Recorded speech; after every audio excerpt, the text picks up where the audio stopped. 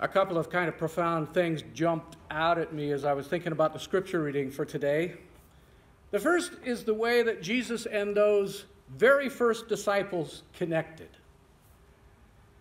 And the second thing is that this scripture represents a real passing of the torch from John the Baptist to Jesus.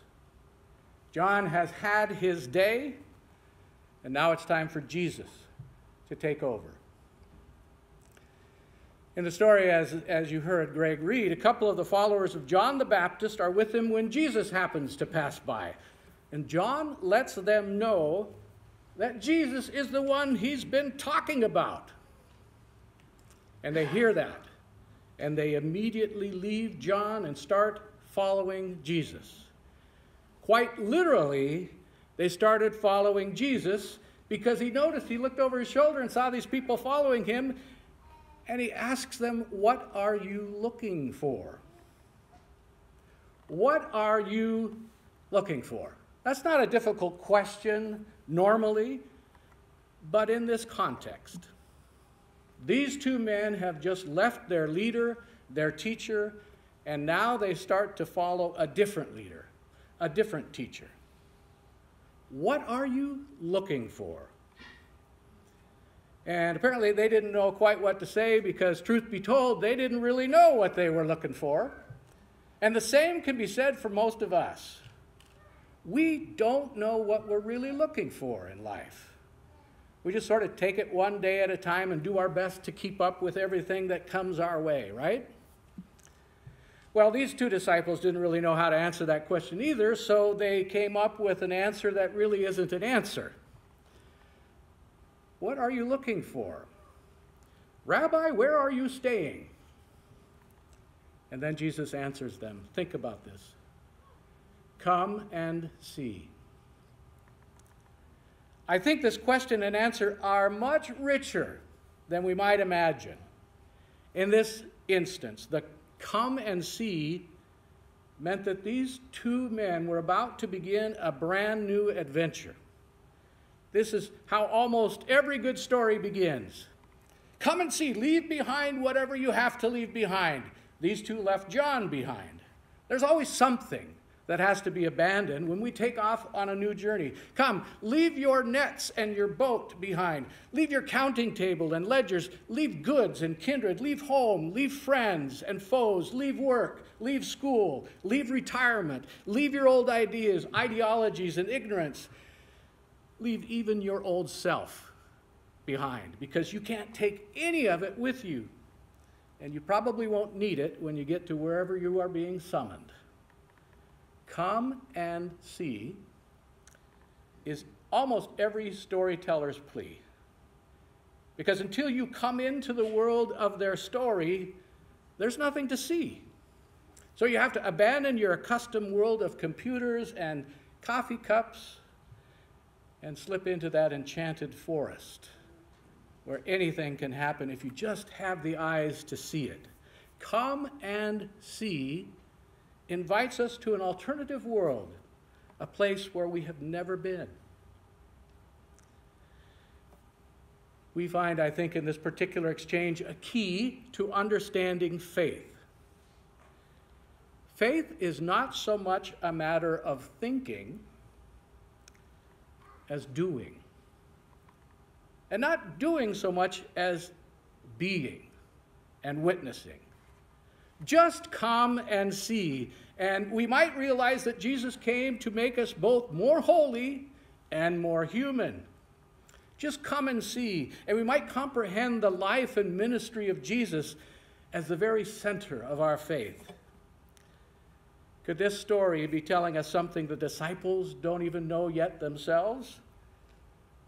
What most people are looking for is not information, it's not answers to questions such as who is Jesus? Or is this the one?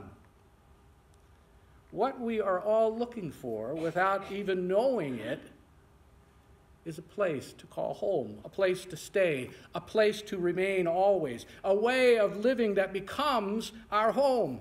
And for most of us, Jesus is a huge part of that place. A person who is himself a home, a place to belong, a whole way of life. Jesus knows that what the disciples really want is a place to belong. Whatever he sees on the faces of these two men panting in front of him after running down the road, whatever he sees, what he says to them is just right and wonderfully inviting. Come and see. And they go with him. They end up staying, right? And his story becomes their story. His way of life becomes their way of life. His home becomes their home. What are you looking for? says Jesus to people who were told by someone else where he could be found. Come and see, he said to the people who wondered if they had a place in his story. The thing that moves people from one question to another, from what are you looking for to come and see, that's the story that the church is called to tell. It's the only story the church has to tell the story of its home, the place from which we draw hope and strength and power. The place is a person. And the best way to tell his story, perhaps the only way, is with our lives. I think there are two things that I found profound. The other is this is a story of passing the torch from one person to the next, from John the Baptist to Jesus. But then what happens to that torch when Jesus tries to hand it over to the next person and the next people and the next? Who are these people? Are we these people? This weekend, as you probably know, among other things, we are remembering and celebrating the life and work of Dr. Martin Luther King Jr. Much of what Dr. King said and did was firmly planted in biblical principles and the teachings of Jesus. His commitment to nonviolence was, in a large part, a Jesus thing. His calls for justice and equality were echoes not only of Jesus' connection and advocacy for the poor, but also those great prophetic voices within the Hebrew scriptures. We don't often think about Jesus passing on the torch to others, but just as he had to prepare his own disciples for the time when he would not be walking beside them in the flesh, those same teachings apply to us as well. He's passing a torch to us. And across human history, every once in a while, we can see folks who have taken up the torch of the principles of Jesus. Dr. King was just one in a long line of brave voices who come along and challenge the status quo by trying to actually apply the teachings of Jesus to real life. Imagine that. We're not just a set of beliefs, but we're to live out the teachings. How we treat our neighbor really matters, especially when our neighbor is struggling in a game where the deck is stacked against them. The system, his systemic racism that Dr. King confronted and challenged had been around for a very long time, and truth be told, it is still around. But we are in a unique moment in history because we are witnessing someone rise up who I believe has taken the torch from Dr. King and is attempting to continue his work. This is a name you've heard before. Reverend William Barber II was four years old when Dr. King visited the Mississippi Delta and saw a teacher divide up one apple while trying to feed eight children. The hunger and the misery that Dr. King witnessed inspired the 1968 Poor People's March on Washington. It's a different march, they had a caravan of more than a dozen covered wagons, covered wagons with slogans written on them Feed the poor. And they traveled from Marks, Mississippi, to Washington, D.C., to the nation's capital. And there they lived for six weeks of protest. Reverend Barber has nurtured the seed that Dr. King sowed. He is the co chair of the Poor People's Campaign, a national call for moral revival.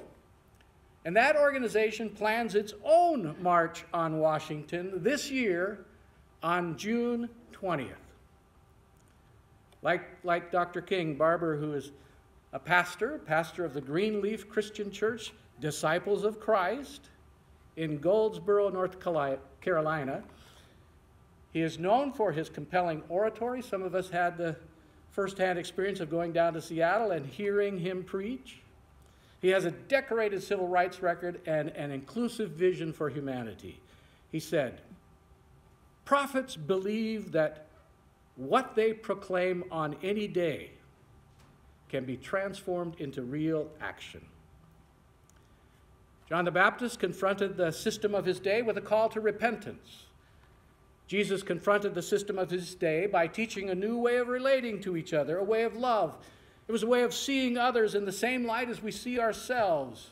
It was a way of sacrificial servanthood in a society where the master was the only person that mattered. And along comes Jesus and says, If you are to truly be great, you must serve. You must serve others. That torch, those teachings were passed on to the early followers and an early church where that radical love and support was practiced and people lived for one another and held their goods in common so that all would have enough. And that torch continues to be passed from one to another until we realize that that torch is in our hands. And the world looks at us to see what we're going to do with it. Amen.